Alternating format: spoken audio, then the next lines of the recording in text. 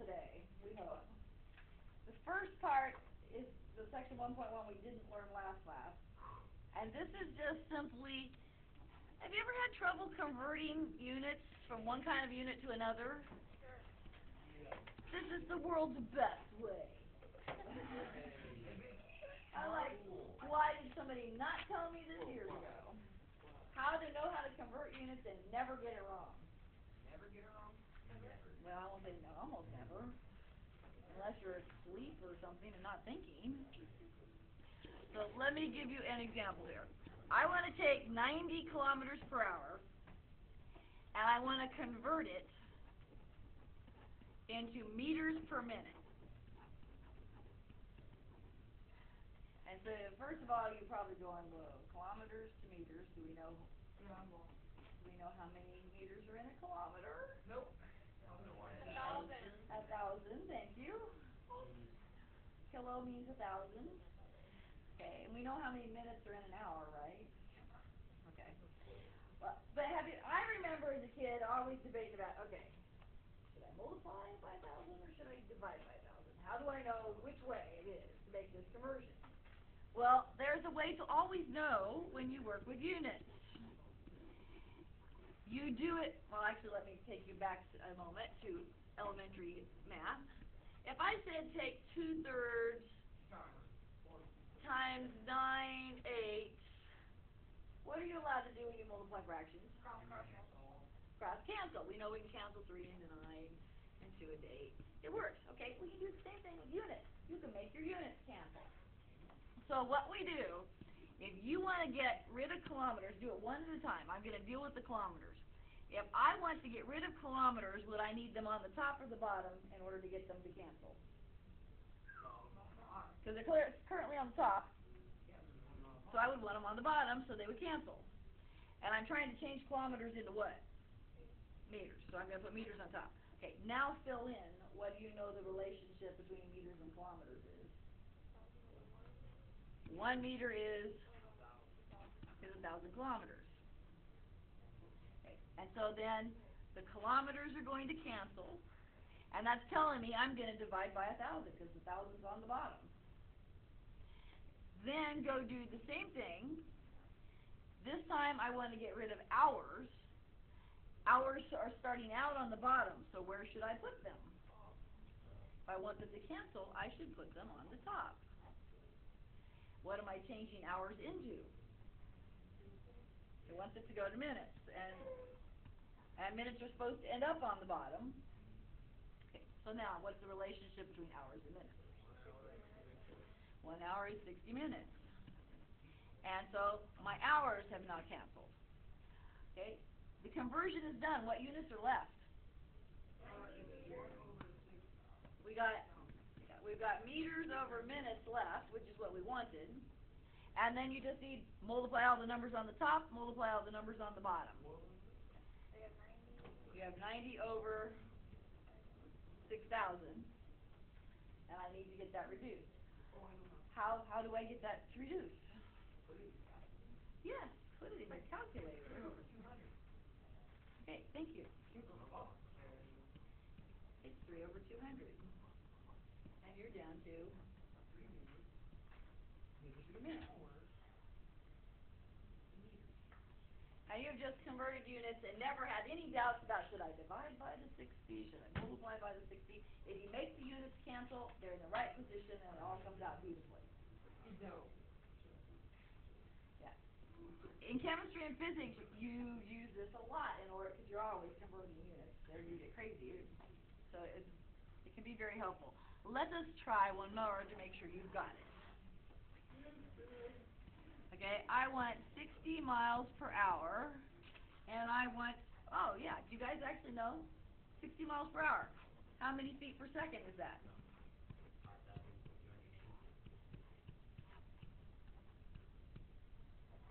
How many feet, how fast are you moving in feet per second if you're going 60 miles per hour?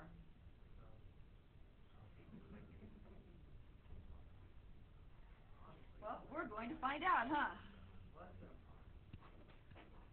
Okay, so, 60 miles per hour. what fraction, what do you want, do you wanna get rid of miles first or hours first, your pick? Miles? So, okay, if I'm getting rid of miles, where am I putting them? Miles are going to the bottom, so they cancel, and they're changing into what? Feet. And then, Five thousand two 5,280 feet in a mile. Such a lovely number.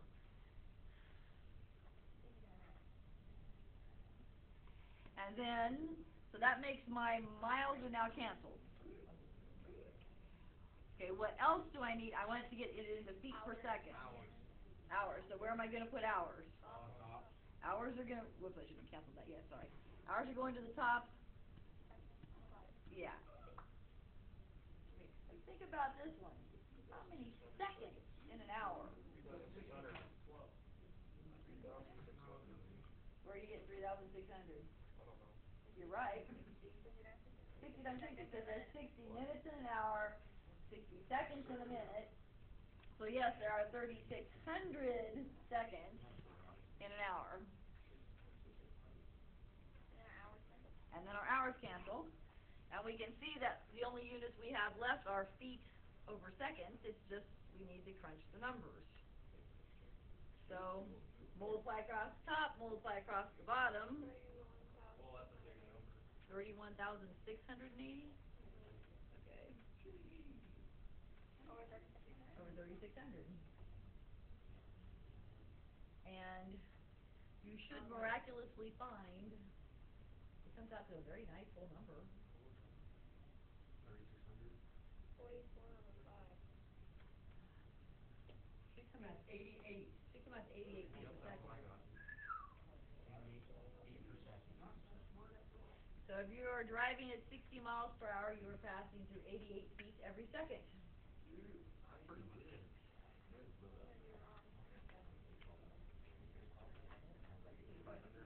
Uh, You lost.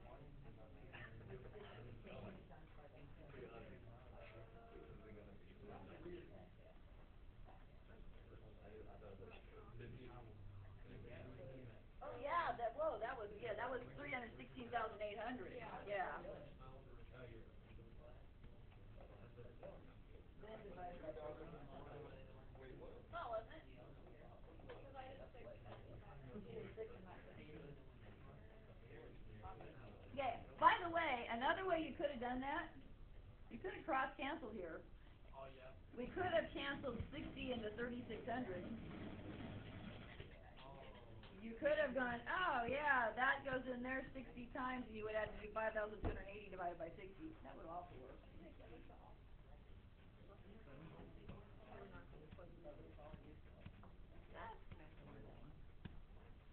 Oh, by the way, another thing you should know about these calculators, they're like computers. Control Z is undo, Control X is cut, Control V is change. Internet Explorer? So if you know your keyboard commands on a computer for doing things, they work on too.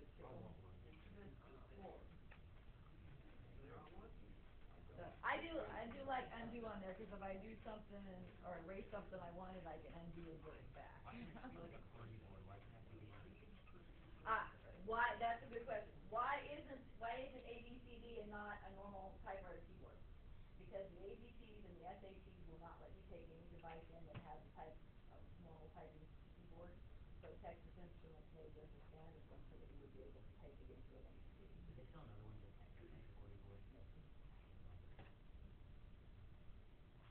don't type that extensively on it. Unless it's, I suppose if you, if you got to where you were programming on it, it might get a little old, trying to type it. But actually, if you're gonna any of that, I have the software that does the same thing there. I type it all on my software and then just download it into my calculator. You could write like HTML and stuff on the calculator. Don't know about HTML, but you can program, you can like, like you can program, write a program that will do the quadratic formula for you automatically. You can.